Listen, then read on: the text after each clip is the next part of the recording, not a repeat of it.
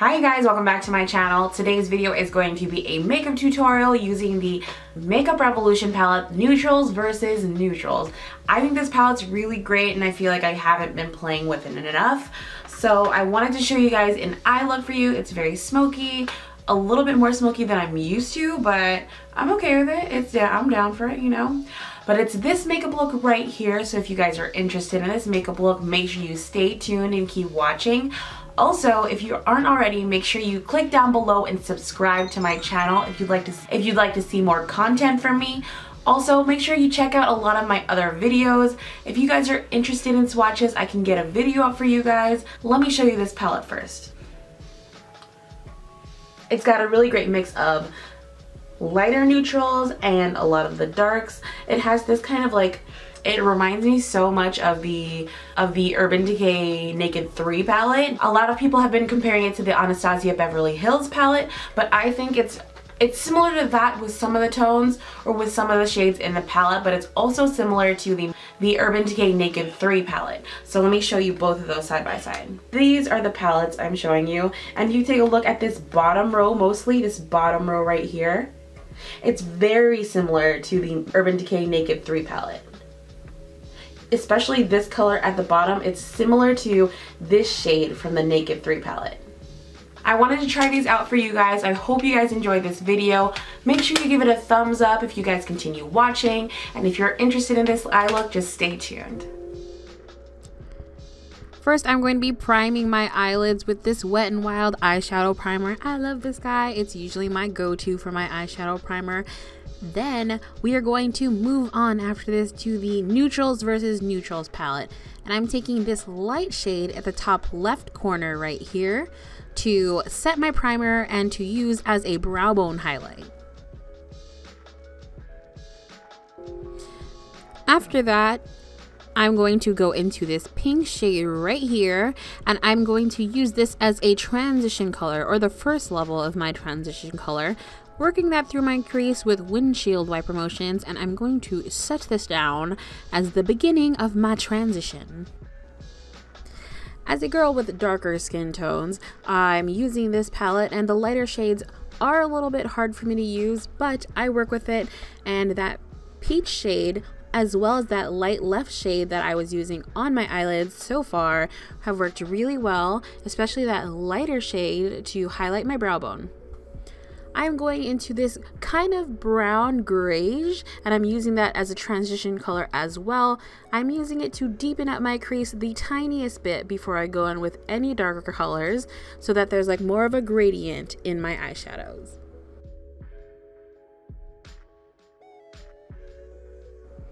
I'm loving this color right now, especially in this palette because it goes so great with the eyeshadows on that bottom row. You can definitely get a lot of looks from this eyeshadow palette if you're interested in So many fun colors, brights, a lot of warm tones at the top, and then cooler tones at the bottom. Now going into that darker shade, we are going to use this to darken up the outer V of my eyelid. Starting very lightly, I'm going to lightly build up that darker color and then work my way up to whatever I am comfortable with. There is a little bit of fallout from the shimmery shades as you can see underneath my eyelids, but that is why I recommend that you do use this any of the shimmery shades. The matte shades do not have this problem, but with the shimmery shades, especially if you're going to work with these eyeshadows, do the eyeshadow look before you do any of your foundation or your concealer just so that afterwards you can clean anything up. Right now I'm just going to blend out as much as I can and make sure you keep blending until you are comfortable or you are happy with however this turns out.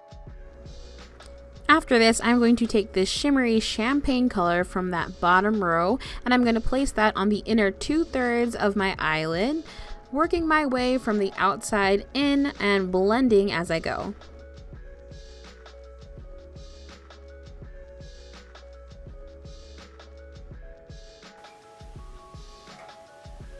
This guy right here is easily becoming one of my favorite liquid liners. Look at the clean line it gives me and I love the brush tip.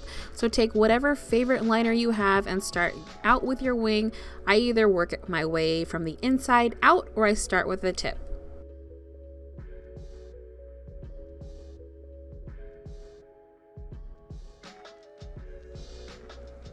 Next, take any of your favorite lashes. I'm loving this demi wispy style and place those on your eyelids. Obviously, these are optional, but go with whatever style of lashes or bare lashes if you're interested in that, but go with whatever makes you comfortable.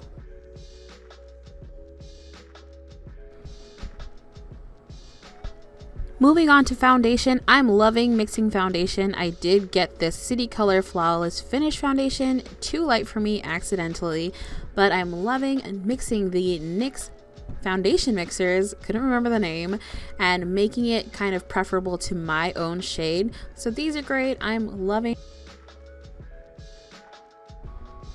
I use both the warmth and the tan foundation mixers just so that I can make it to my own shade and I'm laying both of these down so that I can slowly work my way up to the shade that I want before I end up making it too dark for my skin and making myself look way too tan even though I love being tan but I want it to look natural. You know, you know what I'm saying? If you are mixing anything, make sure your hands are clean. I obviously could not find the spatula that I usually mix things with, but I am placing this on my face as soon as I have the foundation shade that I want and it turned out amazing. It looks so good. I'm so happy. I'm so happy. Can you not tell by my foundation blending? I am very happy with the shade. Blend, blend, blend, blend, blend, blend. This takes me forever, but I mean, you gotta make it look good. So obviously, take your time with this, blend the foundation as much as you want, wear whatever shade foundation you like, make it look good, because you're always gonna look good. You look beautiful. Did I tell you that today? Honestly, I was so sick when I was making this, so this foundation mixed together is making my skin look way better than it actually was during this time because I was super sick. I had the flu for like two weeks and I was not even able, able to make anything during that time, so I'm surprised at how good this looks. Since this foundation is way too light for me, I use this to highlight or kind of just use it as a concealer to highlight underneath my eyes, highlight along my jawline, down the bridge of my nose, as well as, I think that's it. Huh. I pretty much think that's it. But I love this as a highlight. It's so light. I'm, I'm a fan of this foundation and I am debating on whether or not I need to actually get it in my shade or something a little bit closer to my shade.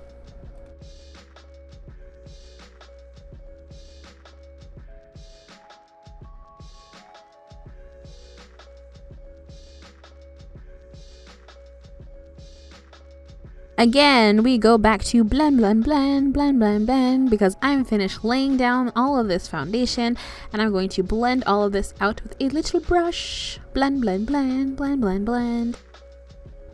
I honestly need to get a smaller brush just so that I can work smaller areas, but this is like a mid-sized brush and it does what it does fairly well, but I think I need to get something smaller to work underneath my eyelids, or uh, my eyelids, my under eyes especially. Now, going to my setting powder, use any setting powder that you are happy with. I've been loving the Flower Beauty setting powder, so I'm to tap off the excess, make sure I set my under eyes as well as pretty much all over my face because I am a very oily girl and I need it. So set that foundation, set everything down, and make sure everything is matte and nice or however you want it to look because this is for your face.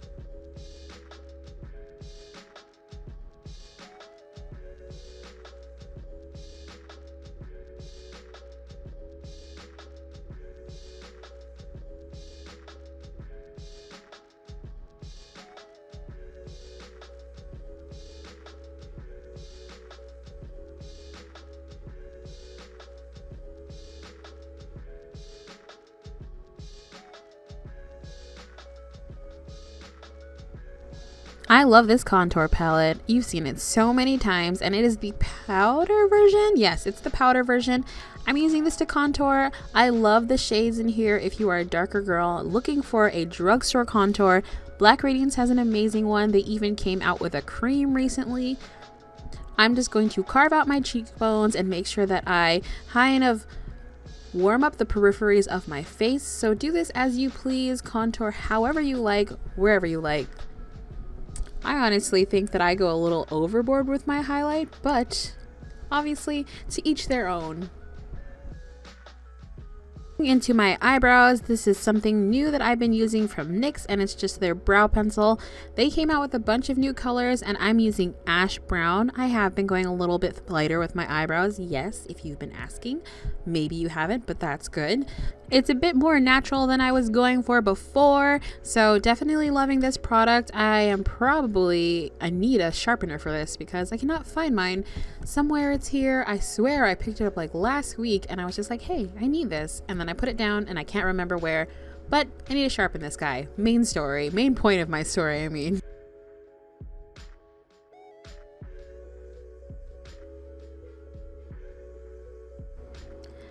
I love this brow gel. I've been using it for quite a while, probably not too long, but still, I'm loving this.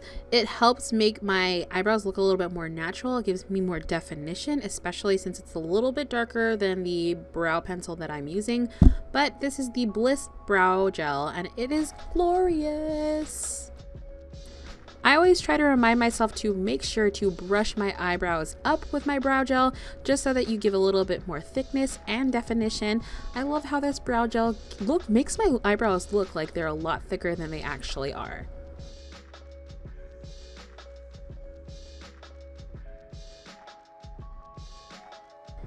This mascara has been one of the top favorites for a while now, and I'm so happy to be using it. I feel like it doesn't smudge on my eyelids, and I even use it on my lower lash line, and nothing crumbles, nothing smudges. It is great.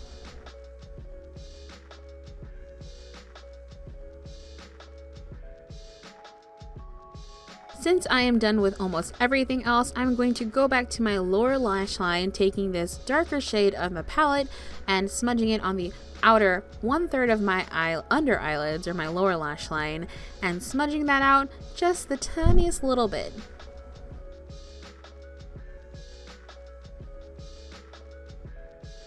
Then on the inner two thirds of my eyelid, I'm going to take that lovely grayish brown that I was loving a while ago as my transition color, and I'm going to use that on the inner two thirds of my eyelid, making sure to blend in between that darker shade and the lighter shade on my lower lash line.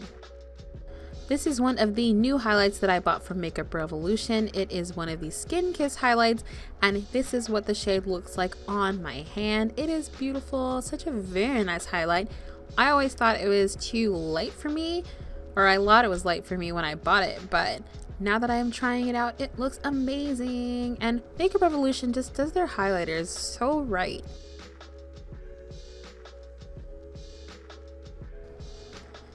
Honestly, my hair looks so messy right now, but I promise you that it will look better later. My hair always just ends up falling out since it's shorter right there, so I promise it'll look better. I apologize for how messy I look, but I promise it looks good. It looks good later. Now, second to last step, let's set the face, make sure all that hard work does not move around, and get ready for the last step because your lips matter. Or if you don't like lipsticks, they don't, but lipsticks are fun. Try and play with them.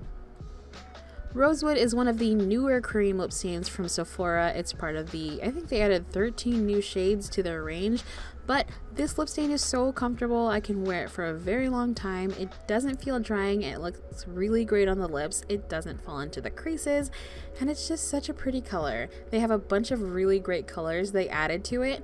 I even like that green. I think it's like a forest green they added, and I want to get my hands on it so bad and see if I can actually wear it or pull it off, really. But you can pull off anything if you put your mind to it.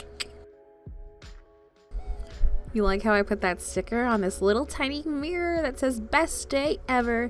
It's the best day ever. What is that from? Do you know? But I love how this look turned out, especially the eyeshadow. It's a bit more smoky than I like, but very nice still.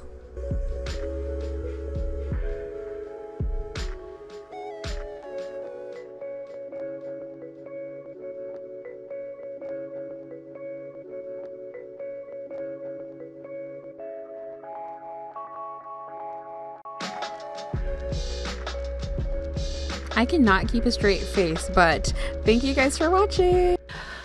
Thank you guys for staying to the end of this video. I hope you guys enjoyed this tutorial. I am very glad to have you here. Subscribe down below if you guys are interested in my channel and check out a lot of my other videos. I'm really happy to have you guys. I will see you guys in my next video and farewell. Bye!